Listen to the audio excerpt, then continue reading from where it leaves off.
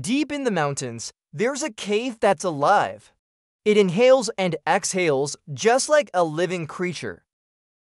Every few seconds, the cave releases a powerful gust of air, as if the earth itself is exhaling.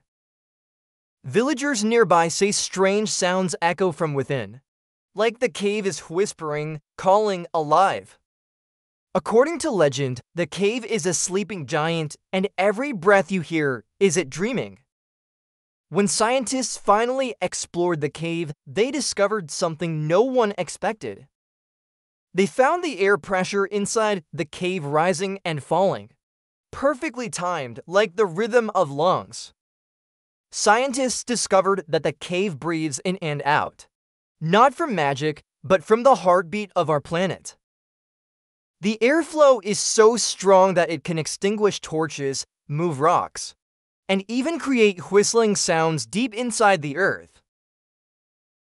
Locals believe the cave is alive, that it inhales the souls of the lost and exhales the whispers of the mountains. Today, scientists still study the breathing cave, prove that even the earth itself is alive.